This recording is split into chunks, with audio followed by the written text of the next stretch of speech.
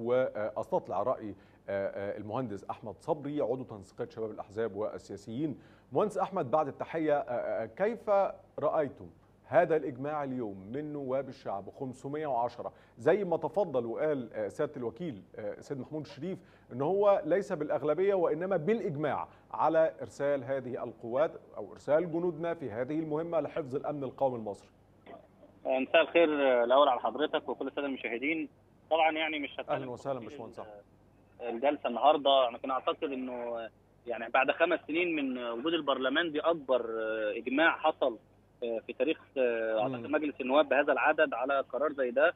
وهو تأكيد على إن طبعا القضية الليبيه بالنسبة لمصر هي قضية أمن قومي وأولوية قصوى زي ما أكد السيد الرئيس عبد الفتاح السيسي في أكثر من مرة وقال في إعلان القاهرة بان إحنا بنسعى إلى يعني استقرار ليبيا وان الحل السلمي والسياسي هو أولوية لمصر ولكن في حالة إن كان هناك إصرار من بعض القوى الخارجية بالدفع بميليشيات مسلحة ومحاوله لتكرار السيناريو السوري والعراقي في ليبيا فإن مصر لن تقف يعني مكفوف الأيدي أمام هذه المحاولات ويعني كان اجتماع مجلس الدفاع الوطني بالأمس اللي كانت مخرجاته من أهم الأمور اللي كانت النهارده بتعرض على مجلس النواب واللي بناء عليها أصدر هذا البيان التاريخي وشفنا بيان الكنيسة المصرية والأزهر ودار الإفتاء وشفنا ودار الإفتاء.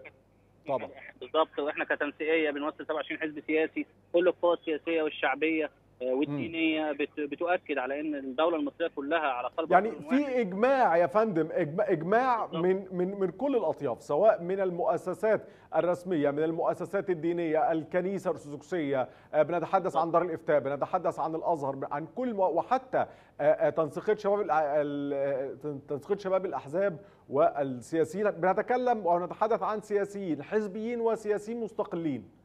بالظبط كده. ومجلس النواب نفسه اللي هو بيمثل أكثر من 19 حزب سياسي بهيئات البرلمانية. طبعا بالأساس يعني. آه فكل ده بيؤكد على إن م. طبعا مصر متابعة للوضع في ليبيا وإن كان سبق ده كمان بقى الأهم من كل هذا هو الشعب الليبي نفسه. وشفنا قيادات والعائلات والقبائل الليبية موجودة في مصر باستضافه الرئيس وأكدوا على إنهم يعني بيدعوا الدولة المصرية لإنها يكون لها دور فاعل في القضية الليبية وطبعا أمن ليبيا وأمن أي دولة عربية هو من أمن مصر وأعتقد إن هذا القرار طبعا. يعني كمان ليه تأثير خارجي قوي جدا.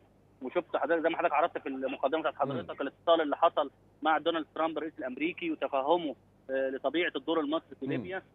باعتبار إن أمن ليبيا وشمال أفريقيا هو طبعا قضية محورية بالنسبة لمصر وتصوري إن الرسالة يعني وصلت النهارده من البيان اللي صدر مجلس النواب والبيان اللي صدر المؤسسات الدينية وال يعني الموافقة الشعبية الكبيرة على يعني البيان اللي أصدرته تلك المؤسسات وعلى طبعا المواقف السابقة لمصر بخصوص ليبيا واللي كان آخرها طبعا فيما يتعلق بإعلان القاهرة.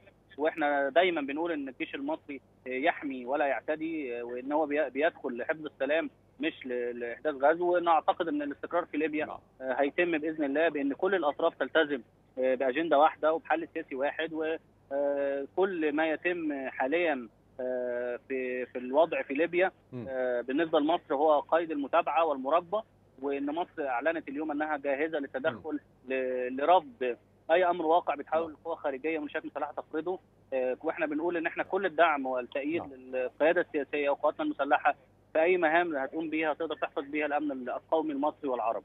نعم.